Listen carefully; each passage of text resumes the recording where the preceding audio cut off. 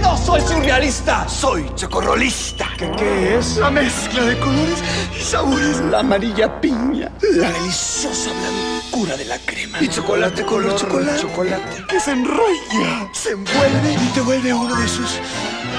¡Mi agua! Chocorroles marinela. Ricos de remate.